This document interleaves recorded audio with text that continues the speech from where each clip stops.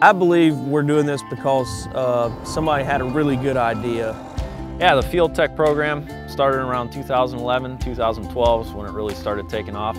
Wanted a uh, group of us guys, you know, boots on the ground. We started out with three Grizz Squad Field Techs, and now we're up to 22. The Grizz Squad is basically us trying to service all the end users and the dealers that are having any issues out in the field.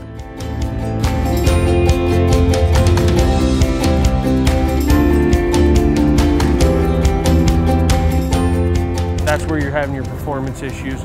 Right now, how it's set up, I'd put 12 PSI. I think it was at that time that we knew that we were really onto something big. When farmers drop a half million dollars on a piece of equipment, they should have no issue. But they still do. Especially if you got a $500,000 machine, why not make it the best it can be in the field, get your all your money's worth.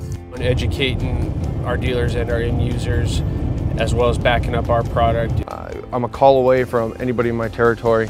We were four hours away, so he made a call to me. We jumped in the truck. We got here last night at 10 o'clock, and we did that because it's that important. They embrace that. They want to know, and knowledge is power. We'd, we'd be lost without them.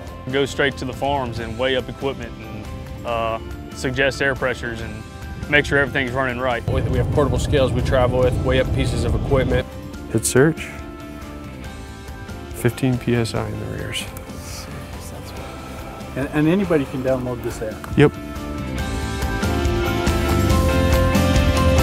You know, this business, like any other business, is all based on trust. All about relationships. And I think that's what Titan is doing. It's one at a time. You have to have that relationship one at a time to move forward. We're their eyes and ears in the field.